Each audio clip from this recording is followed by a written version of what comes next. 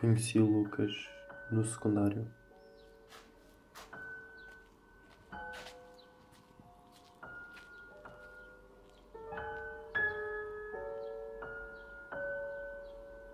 Tal como eu, o Lucas cresceu sem o apoio ou tolerância dos pais. Isso fazia com que ele me entendesse como ninguém.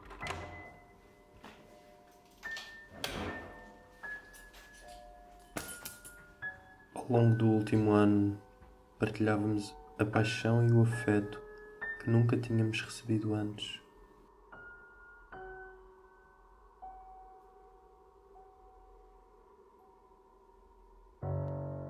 Nós falávamos sobre tudo: traumas, angústias e vícios. O nosso refúgio. Eventualmente perdemos o controle, mas achei que juntos podíamos melhorar.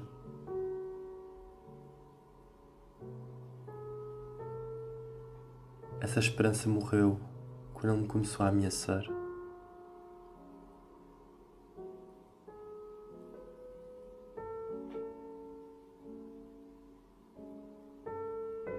Eu não sabia que drogas é que ele andava a experimentar, mas as discussões só pioravam.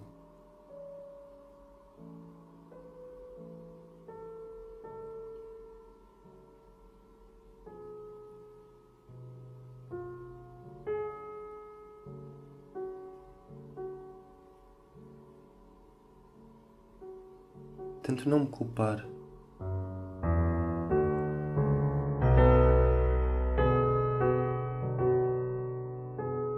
Tenho saudades do antigo Lucas.